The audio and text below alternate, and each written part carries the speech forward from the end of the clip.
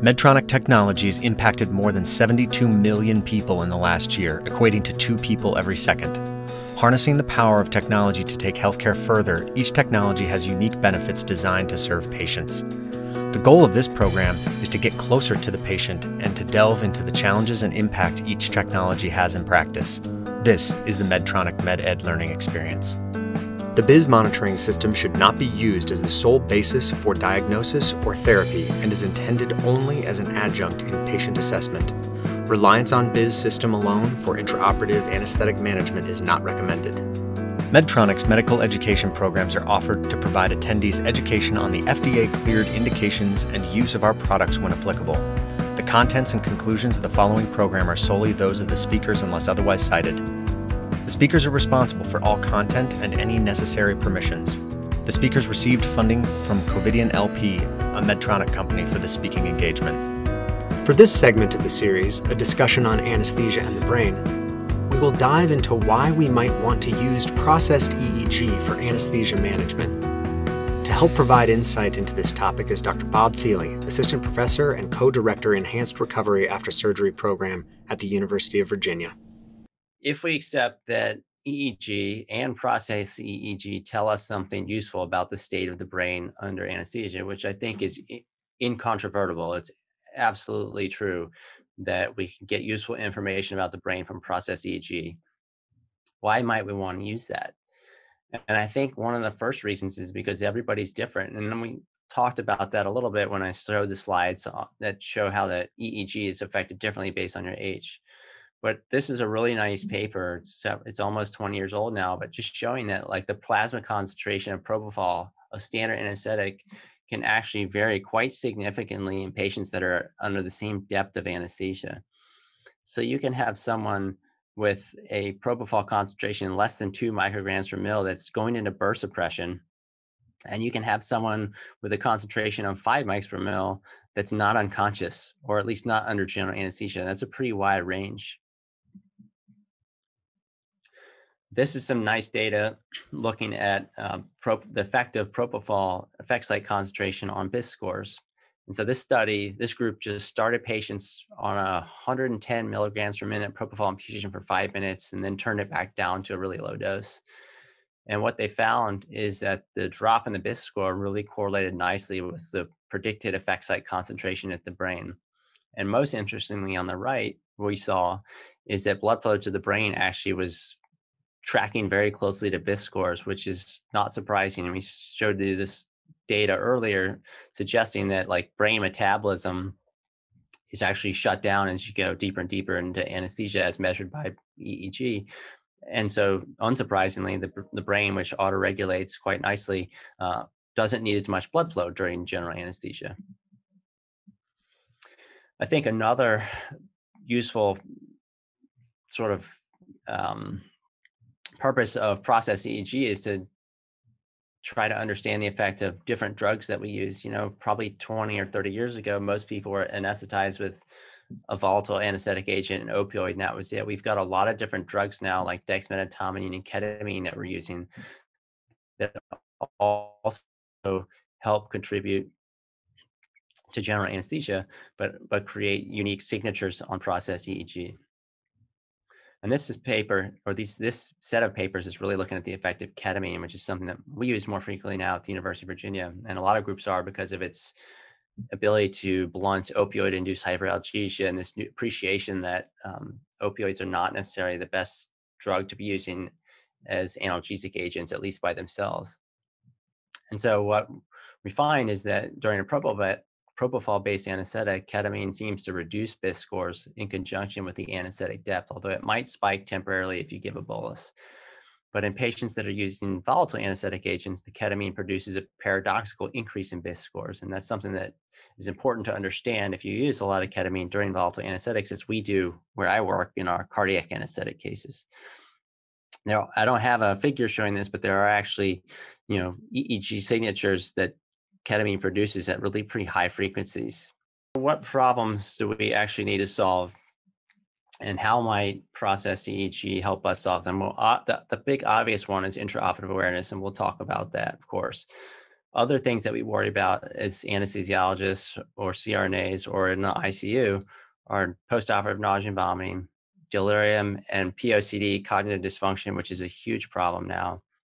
I was part of a group, lucky to be part of a group that actually looked at some of the data on process EEG in for the reduction of intraoperative awareness and how we might use neuromonitoring to impact, impact meaningful clinical outcomes, which is not just intraoperative awareness, that being a very rare event.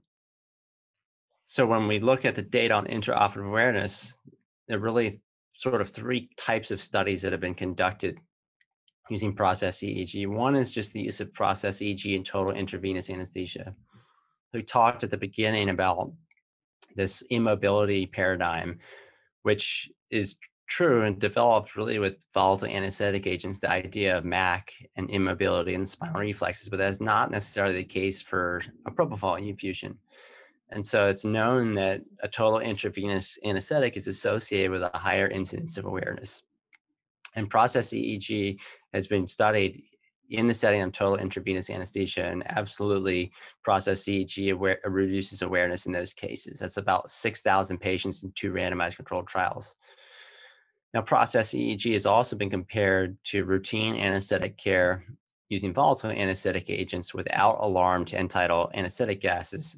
And that's even more, there's even more data looking at process EEG in this scenario. So about 17,000 patients in five randomized controlled trial also showing that process EEG reduces intraoperative awareness in this scenario. The third scenario in which process EEG has been tested is comparing it to volatile anesthetic agent with alarmed end-tidal anesthetic gases. And in those studies, there doesn't appear to be a difference in intraoperative awareness, either for, in favor or against process EEG. It performs the same as alarmed end-tidal anesthetic gas. So postoperative nausea and vomiting, obviously, is much more common than intraoperative awareness, um, not as catastrophic, but something that people really care about if you actually ask your patients. And TJ Gan has been doing this research on different antiemetic agents and strategies for preventing this for about two decades. And he published these guidelines a couple years ago on the management of PONV in patients undergoing surgery. So a couple of things that uh, this group came out with as a consensus. One is to use, if you're really trying to reduce the incidence of PONV, either because of a history of PONV or the type of surgical procedure would make PONV really problematic, particularly some GI surgeries, um, they advocate that you use propofol both for induction and maintenance anesthesia. You avoid nitrous oxide and volatile anesthetic agents. So basically, um, total intravenous anesthesia. In those scenarios, the data suggests that we should be using BIS monitor to minimize the risk of, or excuse me, bispectral, any process EEG, including bispectral index, to minimize the risk of intraoperative awareness. Interesting, there weren't any benefits in the MACS trial. Uh, there was no reduction in PONV in the, associated with the use of bispectral index, but that was a study using volatile anesthetic agents. And actually, in the outcomes of that study, they actually didn't find a reduction in anesthetic use, which would make sense that there wouldn't be a PONV difference, but this was a volatile anesthetic trial. So postoperative delirium, something that certainly is an intensivist is on my mind but now I think the public has increasingly started to appreciate that this is an issue, especially with older patients.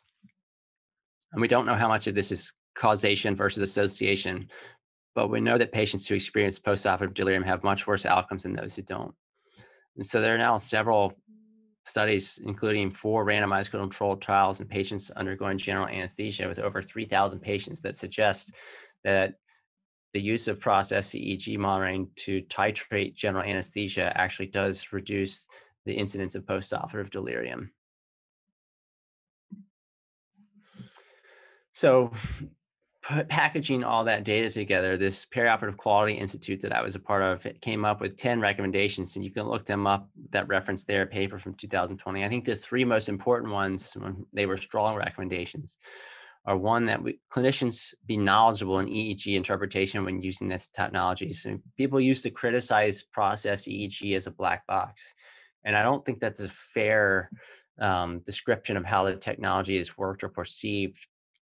It is a little bit more complicated than, for instance, a blood pressure cuff, but it's not impossible to understand sort of the foundation of how these process EEGs um, numbers work, how they're produced, and how to interpret these waveforms. So we've gone over some of the examples of information that you can glean just by looking at the raw, raw waveform and the compressed spectral array.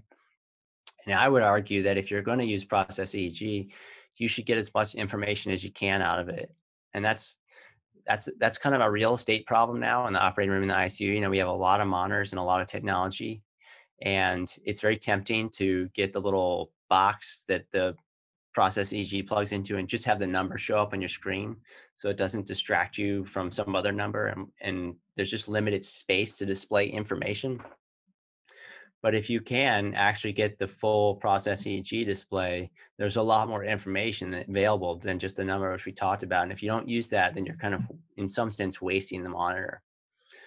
This group also recommended the use of end-tidal anesthetic gas monitoring with alarms in patients who are undergoing general anesthesia under volatile anesthetic agents and absolutely recommended the use of process EEG in patients to reduce the risk of awareness in patients uh, receiving total intravenous anesthesia. Please tune in next week for a new segment from this series wherever you find your podcast. This is the Medtronic MedEd Learning Experience. Thank you for listening.